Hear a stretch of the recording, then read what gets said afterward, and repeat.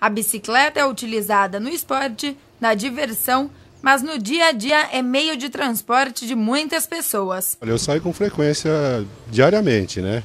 E o que eu tenho notado é que realmente o trânsito aqui está caótico. Em vista tanto com relação a ciclista, a motociclista, a veículos, né? Porque ninguém respeita ninguém. 50% da responsabilidade é do ciclista que também muitas vezes não respeita nem o sinal de o semáforo e também não respeita, muitas vezes anda na contramão. Vários motoristas respeitam o ciclista, mas a maioria não respeita, não considera a vez do ciclista, né?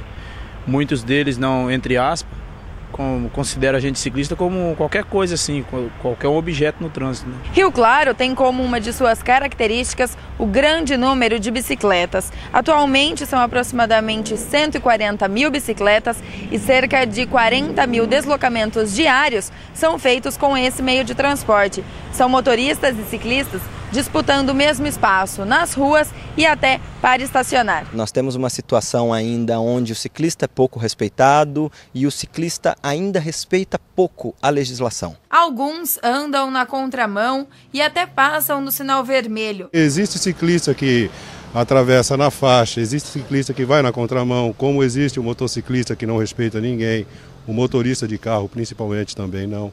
Então é, tem que ter uma educação no trânsito.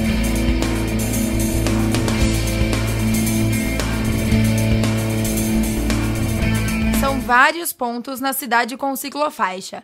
Rua 1, Rua 2, a Rua 3B, lugares de intenso movimento onde as bicicletas têm o seu próprio espaço. Já fizemos 15 quilômetros de ciclofaixa e isso que está um pouco difícil do pessoal entender.